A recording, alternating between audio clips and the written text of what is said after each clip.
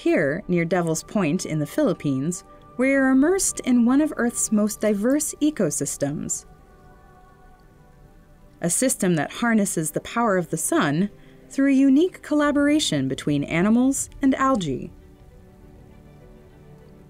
A system that supports thousands of species by making efficient use of often scarce nutrients.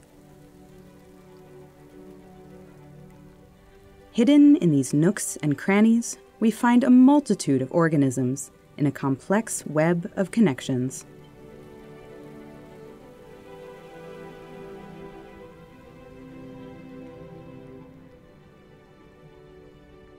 Here, a moray eel gets a little help from its friends a dental exam from cleaner shrimp and cleaner wrasse fish. They eat small parasites that can make the eel sick. A win win mutualistic relationship. Not all interactions are beneficial.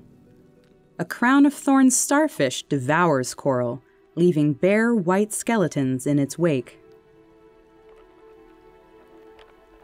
A tiny trapezia crab successfully defends its coral home from the much bigger creature.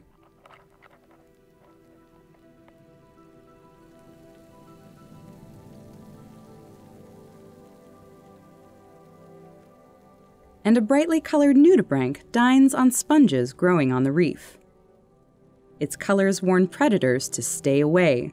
Chemicals ingested by the nudibranch make it poisonous. We observe these species and many more, but what we can't see are all the relationships that link them to one another. Most importantly, they take part in a food web, overlapping connections of producers and consumers, predators and prey.